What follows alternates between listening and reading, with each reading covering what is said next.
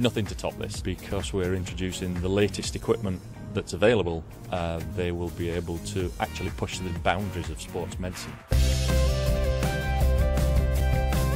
Gives me immediate greater diagnostic confidence in the, uh, the, the test that we can perform with this equipment. Toshiba has really given us another level where we can look at the structural uh, composition of our players, you know, in terms of the, the resolution of image we can get now allows us to look for small things that we may not have detected before. Uh, capabilities of their ultrasound and MRI systems allow us to look more at the function of those tissues in terms of maybe uh, tendon or muscle stiffness and hardness and resilience therefore to exercise load.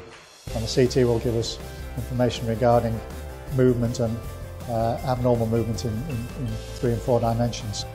Yeah, no, the MRI scanner is it's really good. It's it's quiet in there. It's spacious. It's very light.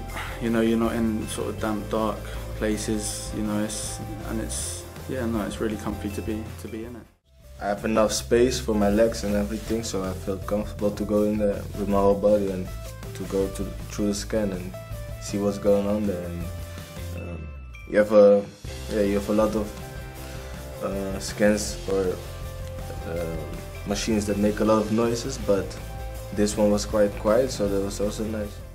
It's very much an academic and intellectual collaboration as, as much as a, an equipment um, provision partnership.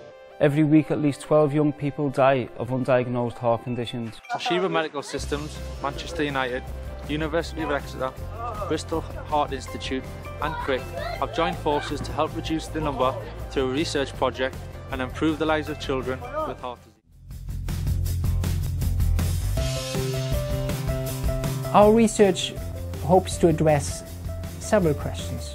One is to find the right amount and the right type of exercise for children with congenital heart disease and eventually create training programs. Secondly, we also would like to understand better how heart, our heart works during exercise.